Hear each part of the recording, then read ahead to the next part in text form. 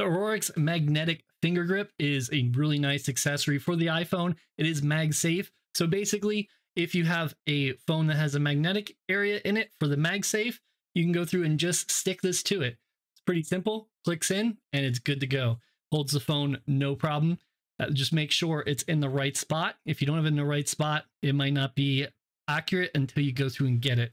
It's pretty much center, and you can see how it is there. This is an area where you put your finger in and it's nice and adjustable. There's a little area here you just pull up. And as you pull up, you can put your finger in and then it gets nice and secure. So it feels really solid in your phone like you're not going to drop it. I have successfully also used it as a kickstand. It'll stand like this and stay like that. So this does stay up. And then when you're done, you can push this in and it'll go through and get out of your way. And when you're ready, boom, you're good to go.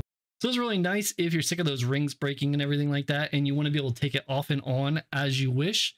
The magnetic ones work really well. Here's the unboxing, and you can see better how it looks.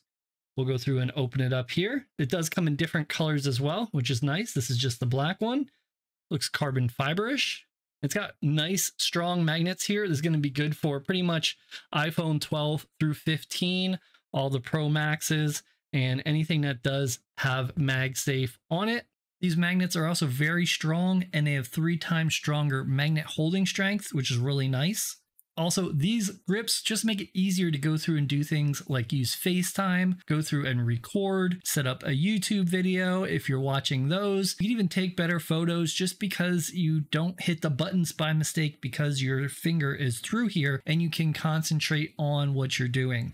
You can also take it off very easily if you want to go through and wirely charge it, and it's nice and solid. Definitely do recommend this to hold it, especially if you have a MagSafe phone and also a MagSafe case. I'd like thank Aurox for going through and sending me this for free in exchange to do the video. Would I buy it again? Yes, I would.